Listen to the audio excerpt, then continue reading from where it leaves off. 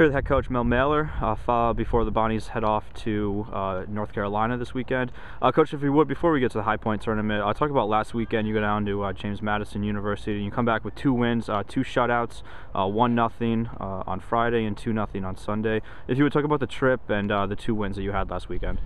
I look at the trip as, as a wonderful educational experience for us. Uh, it would be like a teacher in the first day of school trying to sort out names and personalities and the nuances of, of, their, of, uh, of their, all their students. Uh, we were on the road for four days and it gave me a chance to not just see the players as, as players but as people and try to, put together what we call the, the, the dynamics of our team.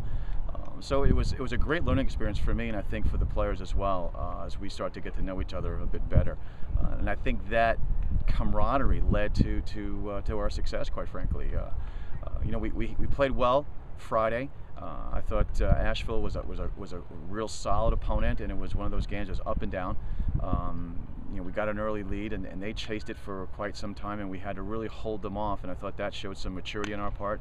Uh, compared to the two previous matches against Buffalo and Niagara. Uh, come Sunday, uh, know, we had to learn how to deal with different playing circumstances. It was 90 mid 90s, middle of the day, compared to a cool evening on Friday. Uh, a different kind of opponent, a very skillful, fast attacking team in Florida Atlantic.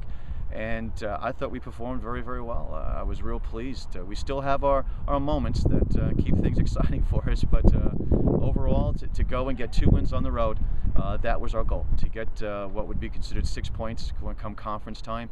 Uh, we found a way to play two different types of opponents, get two different kinds of wins, uh, in and amongst all the other stuff going on throughout the weekend, the travel and, and, and everything else. So. I guess again from an educational standpoint, it was it was a real positive for us. And this weekend you head down to High Point, and even farther trip distance-wise for you guys this time. Uh, you play Radford on Friday, High Point on Sunday. Again, two opponents that you never rarely play, uh, very rarely play. Um, what are you looking forward to this weekend, and what do you know about these teams? I'm excited to get back and play and, and just see how well we can build on our success.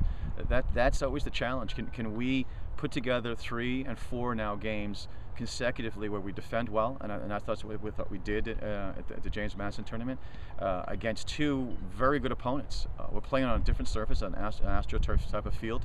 Uh, in the heat, uh, I, I, just uh, I'm excited. I, I think this will be a, a, real true test for us. you know, we're still dealing with some injuries, and, and we still need to, to find some some players to fill those holes.